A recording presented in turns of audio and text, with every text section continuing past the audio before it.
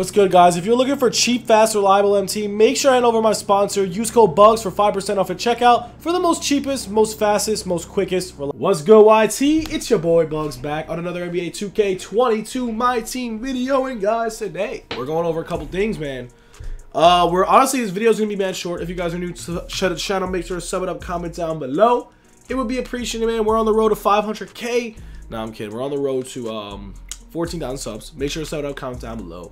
Um, if you guys are new, like, comment, sub, follow the Insta, follow Twitter for a giveaway. Uh, we're going to do an MT giveaway on this channel. All that good stuff. That's how it works, man. We do a ton of giveaways on here.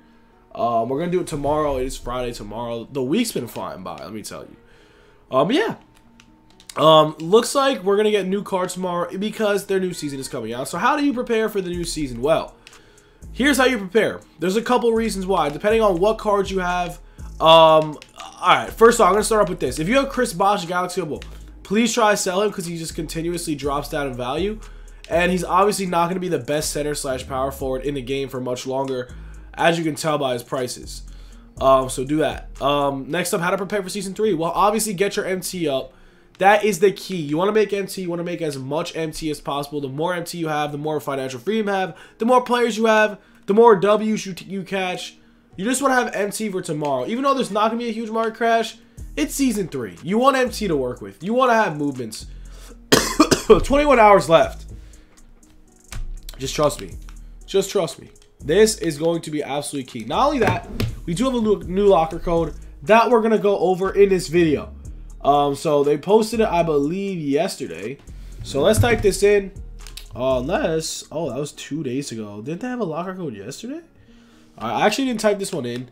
It's someone new, not really, but someone new. But yeah, we're gonna type this in, boys.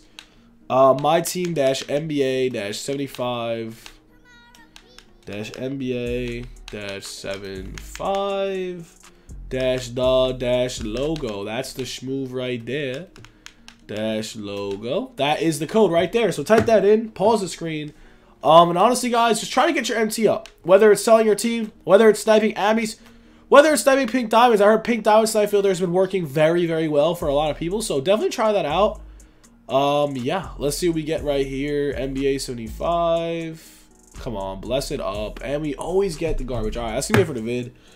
Short little video. Literally do exactly what I say. Try to sell your team unless they're really down. Some some cards are really down. But yeah, other than that, man, that's it. Have a good one, boys. Peace.